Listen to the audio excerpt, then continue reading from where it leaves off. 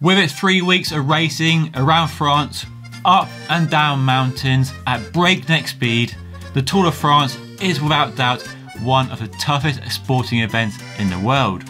But few of us will ever get the chance to experience what the Tour de France is actually like, how fast it is, and how grueling and demanding this race actually is.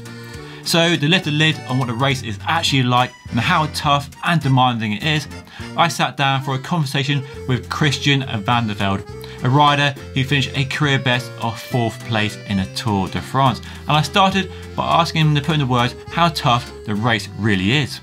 It is very hard to put into words, David. Um, the best way to put it for me is that now that I work in TV, and um, I'm commenting on what I used to do. I don't know how I ever did that or why I ever did that. I mean, I have, I am, I'm lucky to still be in awe and still be such a fan of the sport. And I think that was, that's what I love doing my job as much as I do, but it really is hard to put into words. While, while you're doing it and you're so fit and, and just singly focused on one task at hand, that is surviving every day or exceeding or doing some kind of team efforts, um, it doesn't seem as crazy. But when you're on the other side of the fence, it just seems ungodly what these guys put themselves through. And it's really not just the physical. The difference between the Tour de France and the other Grand Tours is the all encompassing stresses and pressures that are put on. There's 10x the amount of fans, 10x amount of people throwing water, air horns in your hair, and helicopters over your head. So the stress on your central nervous system alone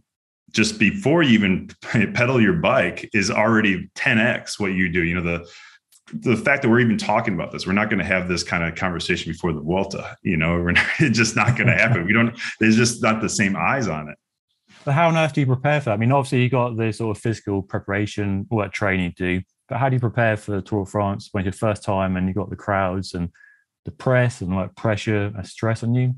Can you prepare yeah, for that? I don't think you can prepare for it. I, I think it's just a, a, a lifetime of, of being involved in the sport and, you know, being, it's, it's the holy grail of, for cycling. There really is for better, for worse, right? I wish we had more that could at least push the Tour de France for being equally as big, but that's really the, you know, it's, it's the pinnacle of the sport.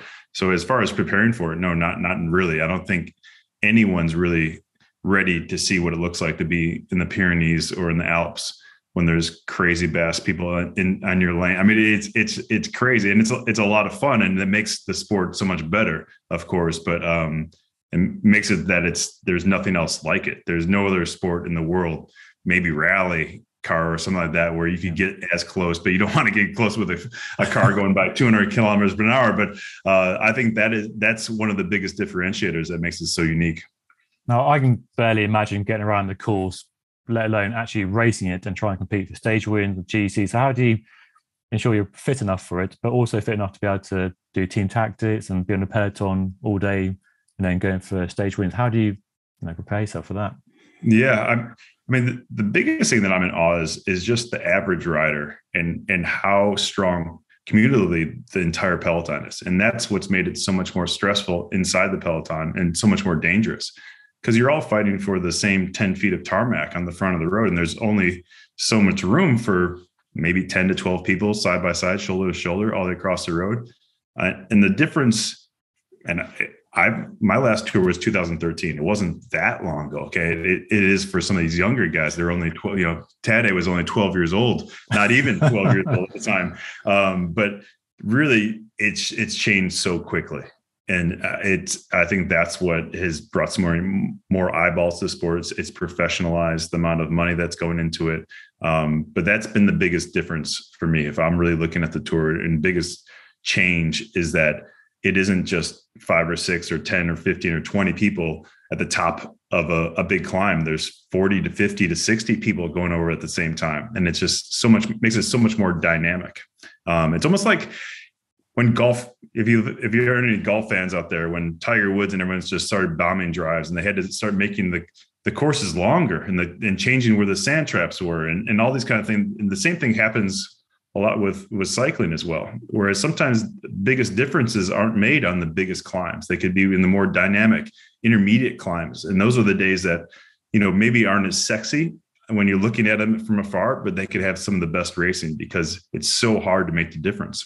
But you're saying it's it's stepped up even more since you retired and the racing got more competitive, or and would you say it's more of a level playing field now? And you know, more riders competing for more stage wins during the race. Yes, I mean we're we're having standout performances, you know, especially with the the new generation, um, and I think that has a lot to do with technology as well, where a lot of these younger pros have been training like they were a seasoned professional in their teens um, and with better access to technology and, and, better training than I ever had in my entire career. Maybe when I was, it took me uh, a decade or more of being a professional to learn the tricks of the trade, whereas these guys already have that in an iPhone when they start off when they're 18 years old. So I think that's been one of the biggest changes. And then, of course, through the pandemic, everyone got to start training like they were the leader of their team, and that changed things exponentially over the last two years as well. Um, so, can you tell us how many times you started Tour France and how many times you finished? And can you tell us about sort of uh, a standout memory from doing a Tour France during your career? Hmm. I started 11 tours. I finished eight of them. Um, broke quite a few bones during the mix. Um, never got to finish those ones. And it, I'm glad I was hurt badly enough that I couldn't keep on, you know, limping my way through to Paris. And, and I always had the mentality if I couldn't really make a difference, I didn't want to be there anyway. So th- those days, of course, I would have loved to have finished, but there's no way. Uh, standout years, I mean, 99 with when Lance won his first tour was was pretty crazy, especially being that being my first Tour de France. Um, and then pushing forward to 2008 when I had a standout performance and I got ended up being fourth place that year. Um, have a lot of great memories of that. But honestly, so many different ones. I mean, riding for Fabian Cancellara uh, in 2007 with the yellow jersey for, for so many days. Uh, the stage in, in London where he actually just smashed it. I don't know how he ever went as fast as he did around downtown London. I, I, we watched the video actually last month and it, it was just in, incredible to see. So that was a lot of fun being able to ride for the yellow jersey in England that year. And that was absolutely bonkers. Not as crazy it was in 2014, but still was pretty nuts. Um, but the, the, tour is just a special, special place. Uh, this year started in Denmark is going to be incredible. I mean, anytime you go to a foreign country, which usually happens every other year, it's been a little bit different through the pandemic, but it changes everything because they only have three days to take it all in. Whereas the tour, you know, they get it every year in, in France, obviously.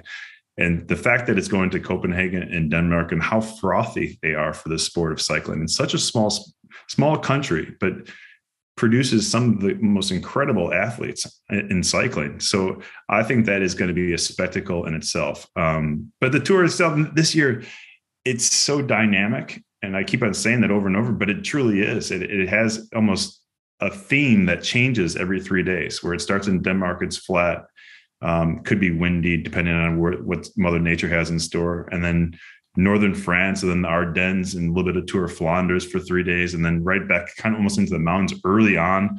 So you're already into into some high Alps already in the first week, which is a little bit strange.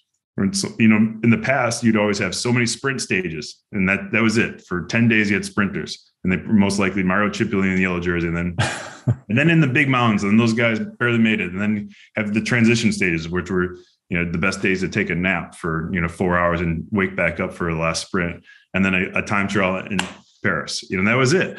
Uh, I think now it's just every day uh, something can and will happen, and then the cliches always come out with you know you can't win the tour in the first week, but you can definitely lose it. Absolutely, yeah. I remember like being a kid and watching a Tour of France, and you fall asleep for the first few hours like a breakaway out there. And then, but these days, like the racing seems to be like, fast from the gun, and you, like the first few hours almost as exciting as the last few hours Agreed. of sprint finish. So that's definitely a big transition.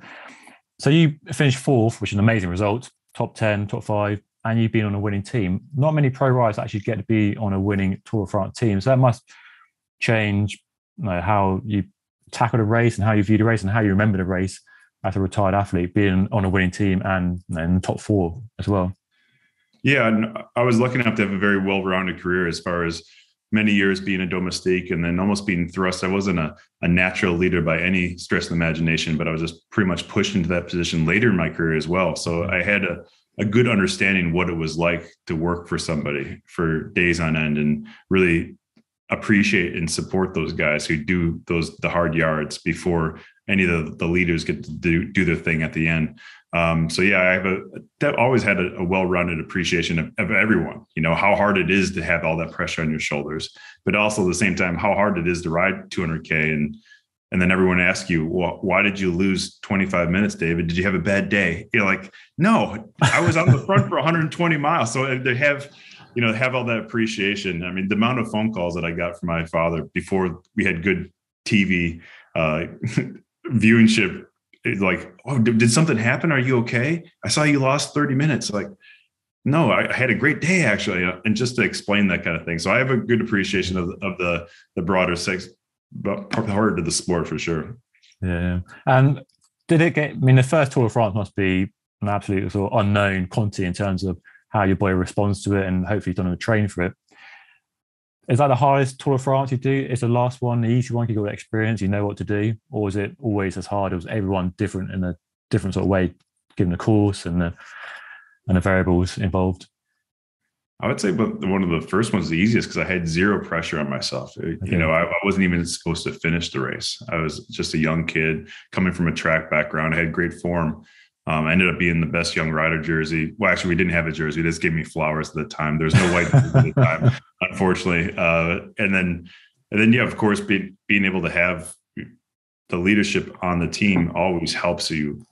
When you have no, I would say the hardest Grand Tours is when everything goes wrong within your team, and then you have no reason to live, and you're just you're just pretty much pack fodder more or less, and getting from point A to point B, and just trying to finish a race, and that those are easily the worst. And then we had one or two of those in the Giro d'Italia, which were excruciating. It's absolutely horrible. When you but when you are have great morale on a team, you're suffering the same. You're probably suffering even more because you're going deeper into the race. But it makes it you're a part of it. You're you're making a difference within the race. And uh, you have a reason to get up in the morning not just trudging your way through a 200k stage in, in, the dolomites just just to finish to make it to milan. So yeah i would say that the hardest days are really when you got the worst results. How do you pick yourself up when you have a bad day your legs aren't working or you have an injury you have to keep going? Because that's one thing about pro cyclists they they crash break themselves and pick themselves up and carry on riding, which seems you know, superhuman and crazy, perhaps. But but how do you pick yourself up sort of mentally and physically to keep going and like because a team effort as well, isn't it? So not letting yourself down, it's letting the team down and must be tough one to yeah and everyone at home all the people who have sacrificed so much to be your, your wife your kids that you haven't seen so yeah, there's so much that goes into this that it's not just that you trained the week before you're getting ready for it. i mean it is the entire year. So when you see someone truly step off their bike, it must be bad. And usually in the Tour de France, I mean, there's no worse place you want to be is if you don't have form or if you're truly hurt, is in the Tour de France when you have the highest speeds and the most pressure on yourself.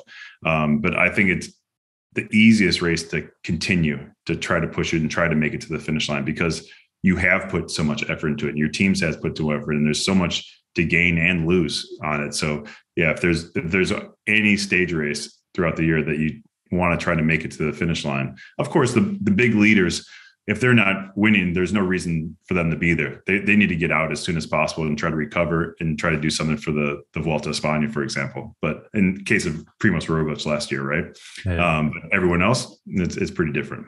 Yeah, because like you say, it's, it's a, the pinnacle of our sport, and then for a lot of riders who aren't going to actually win it, just getting around and getting to Paris is going to be the peak of their career, isn't it? They might not win, but it's you know they can tell their parents, grandparents they they rode into Paris with the rest of it. So it must be quite um quite a motivational thing to just get to Paris, whatever injuries or form you're not you know, carrying.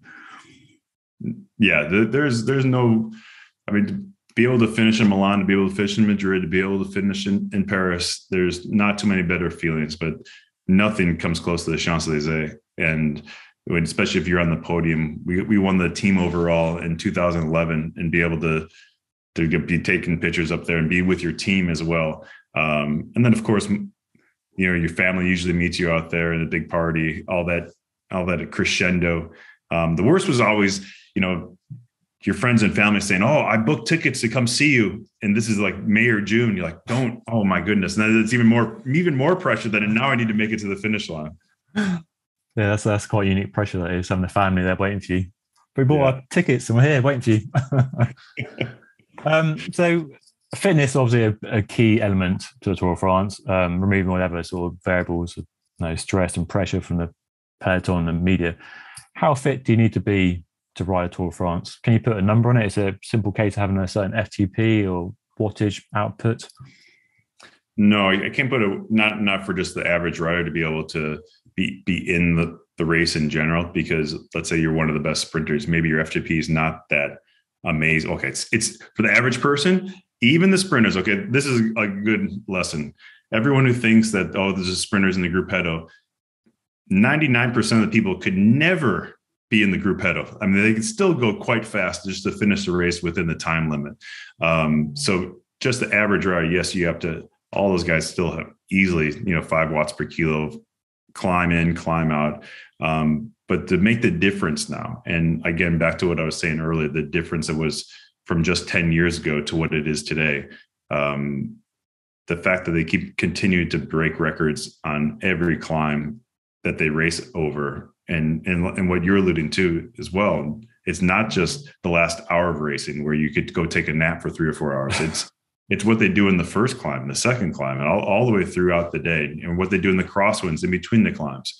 Um, it's it just full gas racing, and so if you are resting your laurels that I'm doing the same numbers that I did last year and I did well in the tour, well, you probably are going backwards because everyone every year gets a little bit better, and it's not just the leaders; it's the entire peloton. So it's it's a pressure cooker these days for sure.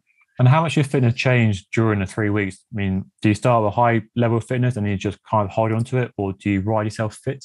Is there one approach that works best, or is it whatever works different riders?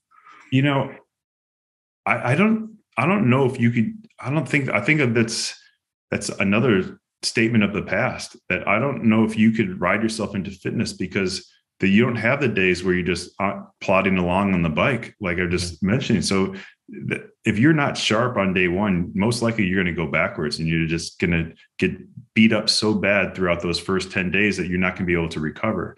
Um, there's a difference between reaching that peak peak fitness or, or carrying that peak fitness into the third week because a lot of times if you look at a calendar even as we sit here a week and a half before the tour de france starts a little bit less the last week of races in the pyrenees and the time trial that is eons away still so we, whenever you look at that kind of view of where you want to be at your best, sometimes you really have to realize that you need to pull the reins in just a little bit. When every athlete, more is better all the time, right? But sometimes coming into a big race is you just want to be fresh. You want to be healthy first and foremost, especially we were talking about Corona going on, and then of course you want to have those reserves. So making sure that you're you're topped up with your food, you're not trying to eke everything out of your body in the in the last week cramming for the test.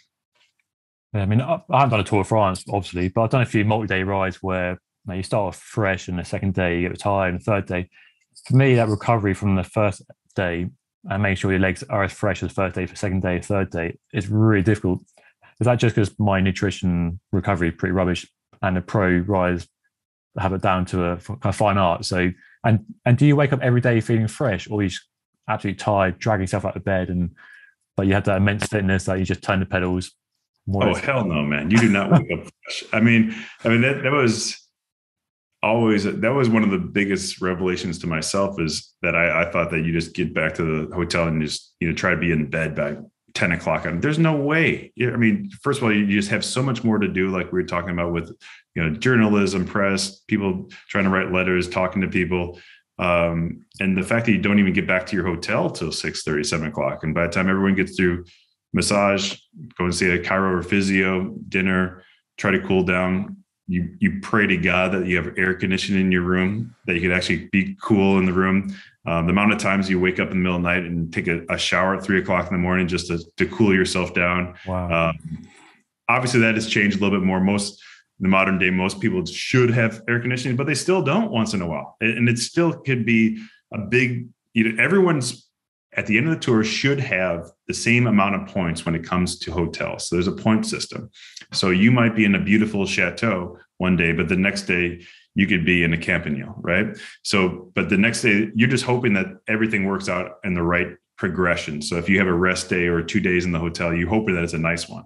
Um, so it, it should all supposedly even out in the wash but depending on what days those are, you know, and, and how you're recovering. But I would say the biggest thing we recover is inflammation, though. It's it's quite easy to um, to actually gain weight during the Tour de France just because you're you're mostly just inflamed, and so more, more inflammation. You're carrying that kind of water, and to feel good on the bike, sometimes it takes hours to get all that that water out of your your body and start really firing on all cylinders. So being able to keep there, minimize that as much as possible. I think that's one of the biggest hurdles there is in the tour. That surprised me that you say you put on weight because, I mean, we all know on average you burn 6,000, 8,000 calories a stage, depending on the whether it's a mountain or a time trial. So it must be impossible to eat enough food like, on the bike and off the bike to maintain sort of a healthy weight to make sure your, you know, your muscles have all the energy you need. But you're saying that you actually actually uh, gain uh, yeah, weight. Yeah, don't don't get me wrong. I'm I'm not saying you're getting fat. You just retaining you have so much inflation. Okay. Inflammation, excuse me, inside your body that you you retain all that water, okay. and that that that is the, the one of the could be some of the biggest hurdles, especially when you're pushing into the Pyrenees in the third week of the Tour de France. So it's all about managing that, and and I guess that's about massaging and all those sort of remedies to try and. Yeah, and mo- and mostly nutrition, and again, I, I didn't I didn't allude to that um, earlier. We are talking about mostly training, but I think nutrition has been one of the biggest hindrances in the past. And now we just opened up a Pandora's box of what the body and how fast you recover afterwards. We have so many everyone talking about ketones. There's it's it's truly endless out there, um, especially on the recovery side. Has that been a, a, big kind of step forward from your career to what they they have available to them now? Then the nutrition available, they're, they're making it easier for them to race at a high level. Then with the nutrition. I, I mean, put it this way, David. I mean, this is it's kind of funny to think of, but in '99, we were the first team to have a chef on our team. You were at the mercy of whatever hotel and what they happened to have for dinner that night. I mean, how archaic and insane is that? You know, that was 22 years ago, but it's not that long. Now everyone has a chef. Everyone makes sure that those the food is is properly prepared for them. And it's not just what the, the chef just decides to make pasta every night, well, which was on in our case. At least we knew we weren't going to get food poisoning, and that was really the only reason we had that. And then now it, it, there's a reason for it. Okay, how hard of a stage is it going to be tomorrow? What, what was it today?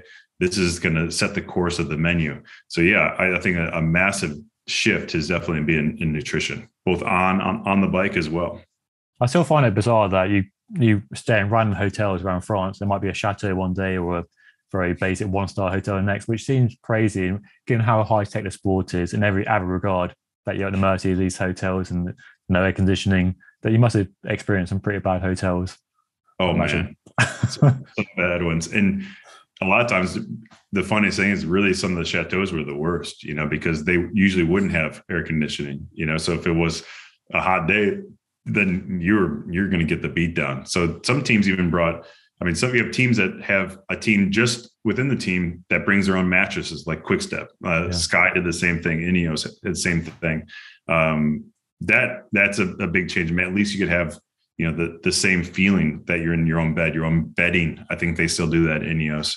Um, they went as far as to have individual washer and dryers for each every rider. So supposedly they they couldn't I don't wow. know. That, that, that seemed a little too much and a little voodoo for me to have eight washers and dryers, but c'est la vie. And they, they won a lot, so they can do whatever they want. Now, I know racing changed a bit for when you race, but can you give us an idea of what you'd eat on a bike during a, a typical six hour stage and then what you'd eat after the bike? Well, when we, when in the Slipstream organization, which turned into Garmin, um, we were a little bit ahead of the curve on on bike nutrition. And so we at the time really thought the maximum that your gut could absorb is right around 350 calories. So mm-hmm. that you know, so mostly carbohydrate, uh, almost all carbohydrates, obviously. So what is that? That's right around uh 80, yeah, 80ish, 80 to 90 uh, grams of carbohydrate. But we now know that these guys could do much more than that, and they're bringing up to around 500 calories per hour. Um, and it's not only in the racing it's in the training and i think that's been a massive shift of being how much they've been able to consume and again we're talking about recovery so if you're not in such a deficit and you're holding on to that you don't have to then we in the past we'd overeat after the bike, and that's your body insulin levels, everything just completely out of whack. So I think that's been a massive shift of, shift of what they've been able to consume on the bike and how they consumed it, just because there's so much more calories and carbohydrates being able being available in carbohydrate form in your water bottle, uh, where we used to have maybe 120 calories in a bottle, they could have up to you know 320 now, even more. Okay, yeah, a big change because um, I know from personal experience, I'm sure lots of viewers you know doing a short ride compared to a long ride is very different in terms of nutrition. Sometimes your stomach just can't handle all the yeah. gels start pumping down it. So I guess every ride is different in terms of what they can actually manage to kind of stomach literally during a long stage. And then doing it over three weeks must be another sort of unknown unless you've done a few Tour de France, you know what you can actually get down your down your mouth. yeah, it's true. I mean, you you have to train your gut just as much as you you train your body, and that's part of the process as well. You know, you're not going to try out a new product the first day or the first day in the mountains in the Tour de France. You haven't tried out many times in training. Um, so being able to consume those kind of calories and still have the appetite in the third week. So many people just can't eat anymore. Or if you know, if I, if I have a specific brand of bar to this day, I, I will get literally sick to my stomach because I've, I've, had to push them down my throat so many times at the wrong times in my career. So uh, that is part of the game, though, being able to eat your way all the way through and still have that appetite deep into the third week. And you could see a person a mile away if they're not eating well in the third week, it's over. Game set match. Pretty bad. So what um what lessons would you say you've learned from your time racing the Tour de France at highest level that you can sort of give to average cyclists to try and benefit from your experience and know, um, mistakes you've made and lessons you learned? Uh, he, you know, speaking to a lot, a lot of my friends, uh, retired athletes, that is, cyclists who did the Tour de France, I think the the theme usually is that we trained too much.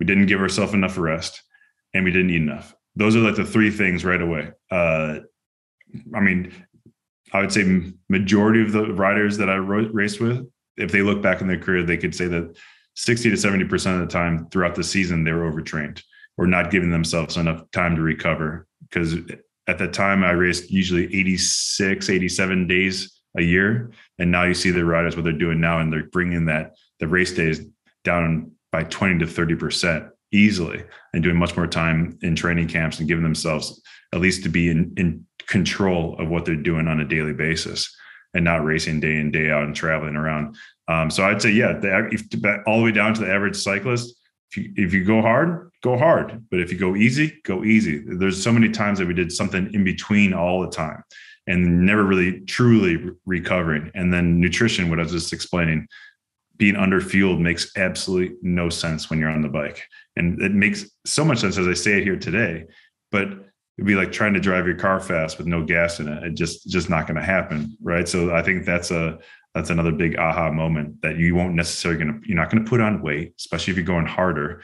Um, just eat, eat a little bit less after the race.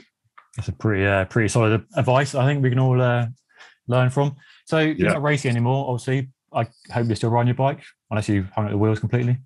Yeah, no, I I I, uh, I retired and I moved back from Girona, Spain. I was there for 15, 16 years, wow, okay. and I went to Chicago, and then I wasn't riding my bike much at all. Um, that's where that's where I grew up, and that's where my wife grew up, and then moved down here to Greenville, South Carolina, and uh, George Hincapie dragged me down here, one of my old teammates, and then um, Bobby Julich, another one of my old teammates, lives here, and so we have a, a great group of people, and and now I got to keep up with George's son. That was this morning. I mean, it's it's brutal to have a 14 year old kick your butt, but that's that's what's happening right now. Having a six foot kid who could rip your legs off. So that's my biggest impetus these days to ride my bike is not get dropped by Enzo. I guess he has to rely on a bit of cunning and tactics and uh, outsmart oh, yeah. exactly. He definitely needed to outsmart him.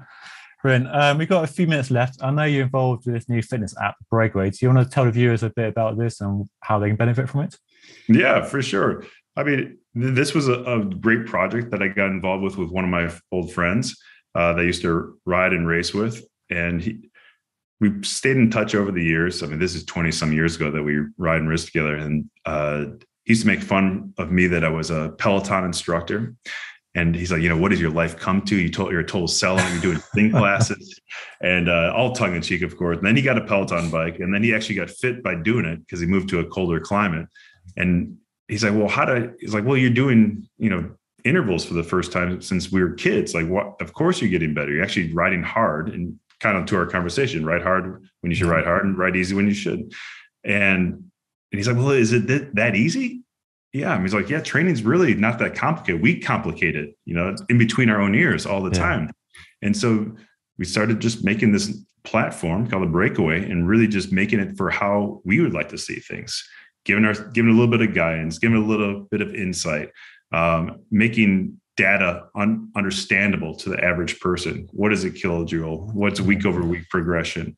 Um, what do you how do I stack up? So one of the coolest things when you when you sign up to the breakaway, you we bringing all your data, whether it be from Pelotons, Zwift, Garmin, mm-hmm. Wahoo, up to a year, and tell you what kind of rider, what your strengths and weaknesses are, and what you how you compare to someone your age first first and foremost, gender, and all the way down to watts per kilogram.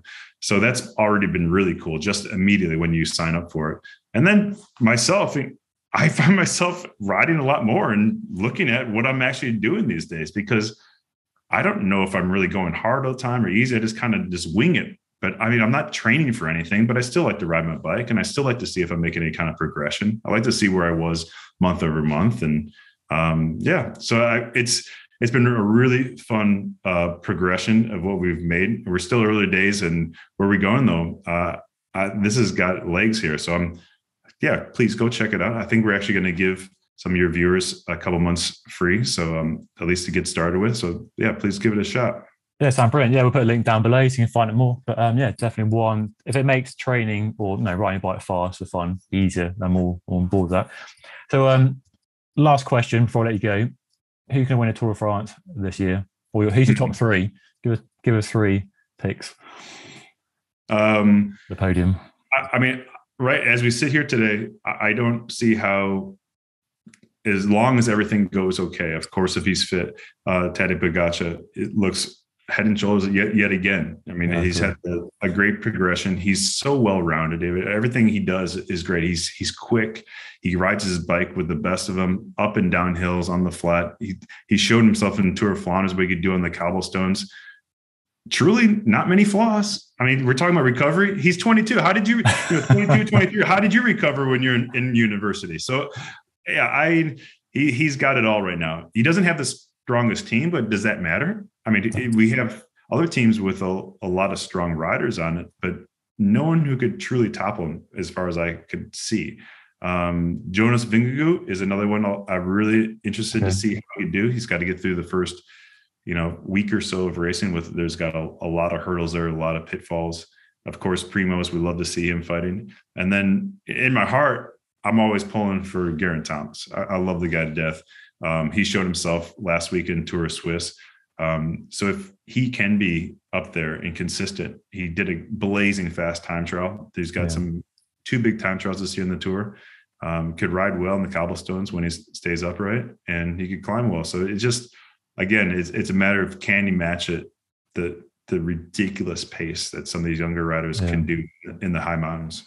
Well, I'll definitely agree with Thomas. If he doesn't crash, that, that is fingers crossed. Um, I can't say anything, man. I, I, spent a lot of time on the floor myself, so I have no no reason to say anything about G. Brilliant. There we go. Um, well, a pleasure to speak to you. Thanks for uh, sharing some of your insight in the Tour of France with us and how tough it really is. It sounds pretty hard. You haven't made it sound any easier at all. So um, I'm definitely watching a race um, with slightly different eyes, uh, having kind of chat to you. So yeah, thanks for your time, and um, I'll see you again my soon, pleasure. hopefully. And my pleasure. I'm, I'm looking forward to myself. Can't wait. Brilliant. So that I think you'd agree was a very interesting and insightful conversation with Christian Vande Velde about just how tough and demanding the Tour de France actually is from a rider who finished a career best of fourth place. If you want to find out more about the Breakaway app that he's involved in, there's a link to it down below and a special offer for all you lucky viewers and listeners. But that's all for today. There's more Tour de France coverage on this playlist right here, and don't forget to subscribe by hitting the button right here. That's all for today. Thank you so much for watching. I'll see you all again very soon.